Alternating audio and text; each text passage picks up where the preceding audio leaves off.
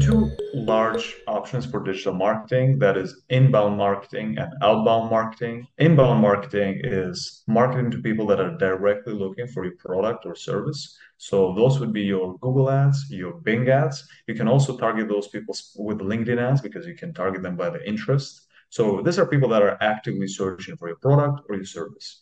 Another option is outbound marketing. So these are people that might not be immediately searching for your product, but they could be interested, right? Uh, those are your Facebook ads, Reddit ads, Twitter ads, Instagram ads, and for example, email marketing.